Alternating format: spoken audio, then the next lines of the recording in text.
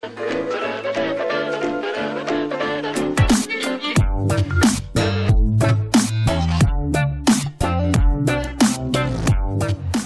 guys, it's me Jimmy. So the question today is that how to learn programming on your own. So there's a guy he's he's telling me that he's a 18 years old.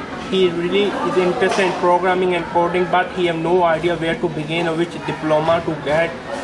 He want to become a software developer or a security engineer, but right now he's learning Python programming. So at the end of the day the thing really matter is what you want to become.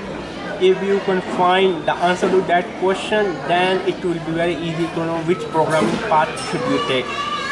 For specifically for python if you want to become a security engineer then go back to college get a normal bachelor of computer science degree and then get at least a master in computer science and then start working as a programmer for five years and then apply for the penetration tester.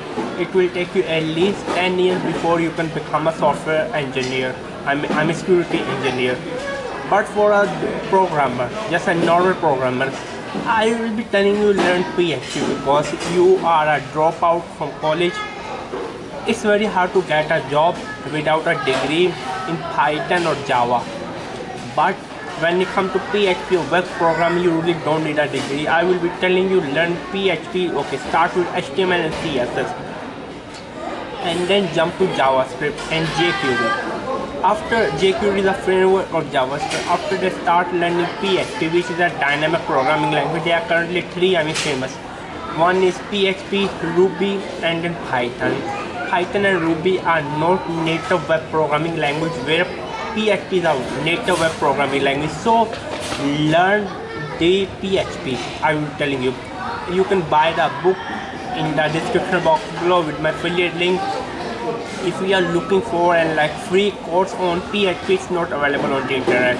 You can find a free MOOC on Coursera and edX and Udacity but there is not a single course available on these websites currently at the time of recording for PHP. You need to spend some money at the end of the day.